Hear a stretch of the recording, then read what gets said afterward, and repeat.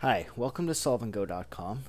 Uh, the next video is a uh, the next in the series of in a series of videos uh, giving solutions to the final exam from Math 135 from 2008. This is question number 20 and it's about optimization. So what we have is a line passing through the point 127 and we're told it intersects the positive y-axis at uh, a point A and the positive x-axis at a point B.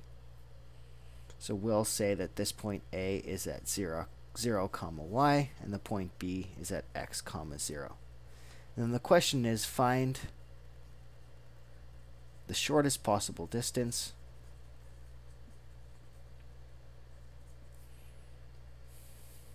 between A and B.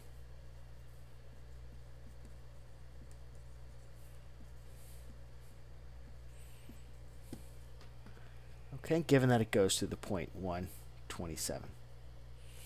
Okay, so let's write the equation of the thing we're trying to minimize. That's the, dis the distance between A and B. So the distance is the square root of, so it's, um, say, 0 minus x squared plus y minus 0 squared using the distance formula, which is the square root of x squared plus y squared. Okay, now this is a function of two variables. Uh, we want to deal with a function of one variable. So we need to relate x in terms of y or y in terms of x. So what we're going to use is the fact that this line has to pass through the point 1 comma 27. How we're going to use that? Well, we can get the slope in two different ways. We can compute it using the point A and 127 or 127 and the point B. So let's find the relation we get in that way. Okay, so these two slopes should be the same. We're calculating the slope of the same line. Um, we get y minus 27 divided by 0 minus 1, calculating the slope using a and 127. And that should be the same as the slope using 127 and b, which is 27 minus 0 over 1 minus x. Okay, so simplifying this, we get uh, y minus 27 over negative 1 equals 27 over 1 minus x. Okay, so I'm going to erase this picture, and we're going to solve for y. Okay, so what we get is um, 27 minus y equals 27 divided by 1 minus x. And solving for y, this gives us y equals 27 minus 27 over 1 minus x. Okay, so here we get y in terms of x, and that'll allow us to um, write the distance function just as a function of x by replacing y with this expression here. Okay, so I'm going to simplify this expression a bit. So we get y equals, uh, getting a common denominator, we get 27 times 1 minus x minus 1. Um, so minus 1 over 1 minus x, which equals 27 times, uh, the 1's cancel, and we get minus x over 1 minus x, which equals 27, and then getting rid of this negative sign up here, we get x over x minus 1. Okay, so we get a simple expression for y in terms of x. All right, so uh, next we want to plug this into our distance formula. So we have the distance equals the square root of x squared plus y squared. And then we're going to plug our expression for y in. So we get x squared plus 27 times 1 uh, x divided by x minus 1 squared.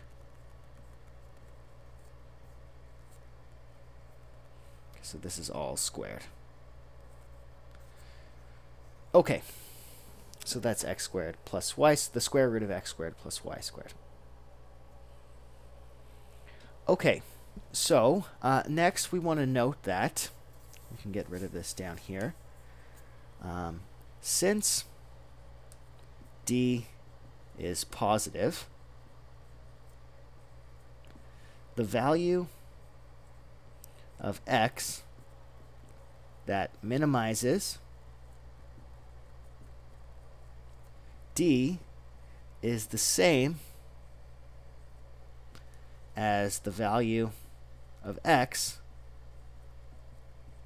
that minimizes d squared.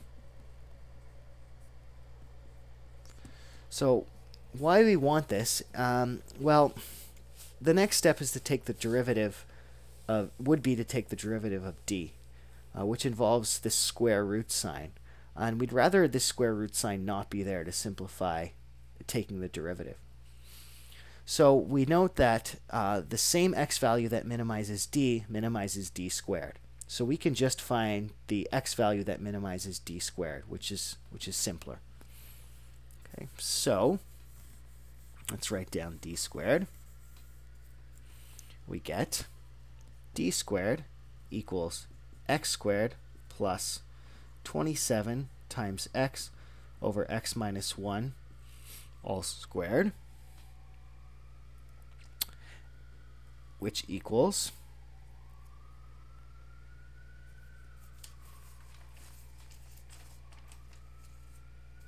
x squared plus, so it's 27 squared, which is 729, times x over x minus 1 all squared. Okay, and the next step will be to take the derivative of this. Okay, so we have d squared of x, and we're going to take the derivative of that. It'll be 2x plus 2 times 729 times x over x minus 1 times the derivative of x over x minus 1. So we take the derivative of the top, which is 1, times the bottom, minus the top times the derivative of the bottom, which is 1, and we divide that by the bottom squared. Okay, so that's the derivative of d squared. I'm going to write this up here.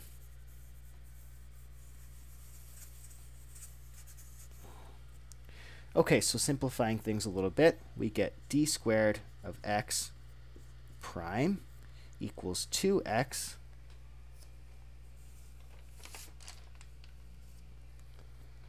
plus 2 times 729 times, okay, so what we get here, the x's cancel, and we're left with a negative 1.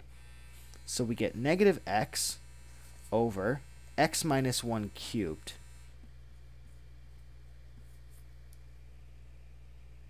Okay, and we want to find the minimum value of this function, so we set it equal to 0 so we can get the uh, critical points. Okay, so factoring, we get 2x times 1. So 2x is factored out, so it's minus 729 divided by x minus 1 cubed equals 0 which means either x equals 0 or 1 minus 729 over x minus 1 cubed equals 0. Okay, so in the second case there, let me erase what's on bottom. Simplifying this, we get x minus 1 cubed is 729, which means x minus 1 is the cubed root of 729, which is 9. Okay, so in this case, x equals 10. All right, so we have two possibilities for uh, minimums. Uh, x equals 0. So let's take a look at our graph again. So if x equals 0 or x equals 10, the picture looked like this. So we had a point going through 127,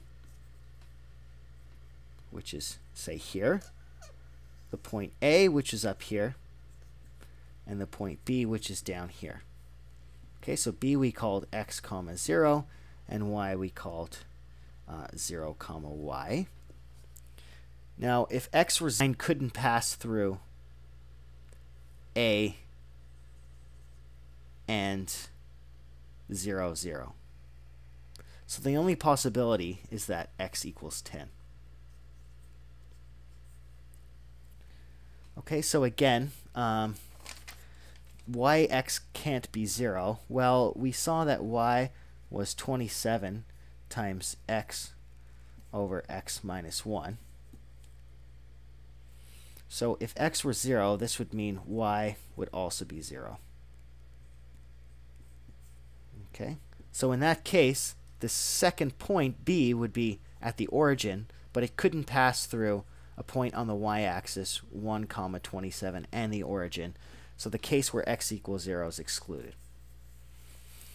Okay, so if x equals 10, y again is going to be 27 times x over x minus 1, which is 27 times 10 over 9. 27 over 9 is 3, so 3 times 10 is 30. So when x is 10, y is 30. And so d is the square root of x squared plus n squared, which is 100, plus 30 squared, which is 900, which is the square root of 1,000.